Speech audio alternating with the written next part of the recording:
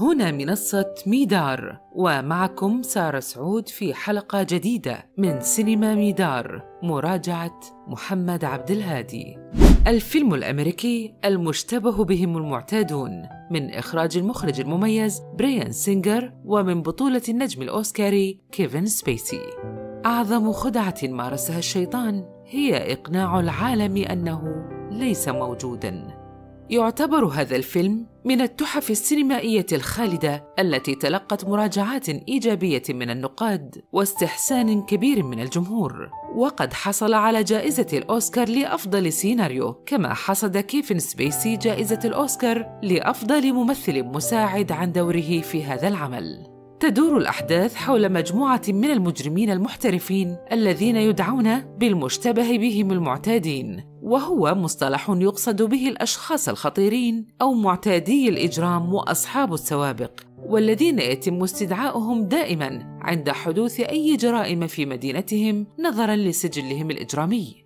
يتم استدعاء خمسة مجرمين سابقين للتحقيق معهم في مدينة لوس أنجلوس بعد وقوع جريمة سرقة لإحدى الشاحنات. ونتيجة لتلك الصدفة يقرر هؤلاء المجرمين الخمسة تكوين عصابة إجرامية للسرقة إلا أنهم وبعد ارتكابهم لبعض الجرائم وانغماسهم في عالم الجريمة يكتشفوا وجود شخص ما لا يستطيعون رؤيته ولكنه يعرف كل تفاصيل حياتهم بكل دقة بما في ذلك جميع الجرائم التي قاموا بارتكابها خلال حياتهم. وهذا الشخص يبدو كأسطورة في عالم الجريمة وكأنه الشيطان بعينه ويدعى كايزر سوزي. تتصاعد الأحداث ويتورط هؤلاء الخمسة بعملية سطو عنيفة على إحدى سفن الشحن. تنتهي بإحراق السفينة ومقتل معظم ركابها وفقدان ملايين الدولارات.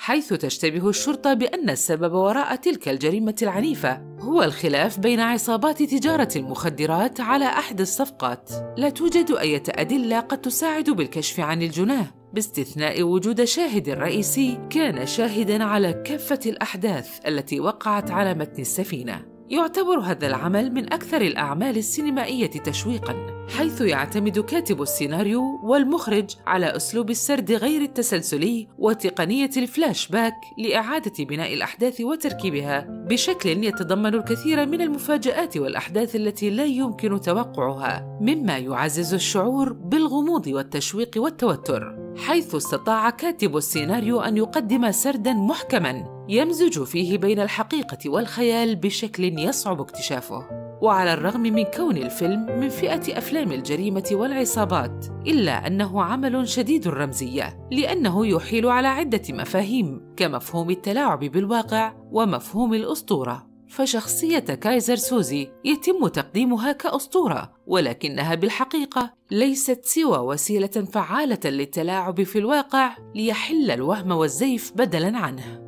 سيبقى هذا الفيلم خالدا في ذاكرة السينما كأحد الأعمال التي توصل رسالة مفادها أهمية البحث عن الحقيقة كرمزية تدفع المشاهد وتحفزه على التفكير بعمق وتوضح له أن الحقيقة ليست دائما واضحة وقد تكون متغيرة مما يجعل البحث عنها تحديا لا ينتهي. شاركونا تقييماتكم على منصات التواصل الاجتماعي لمنصة ميدار. ميدار منصة أفكار.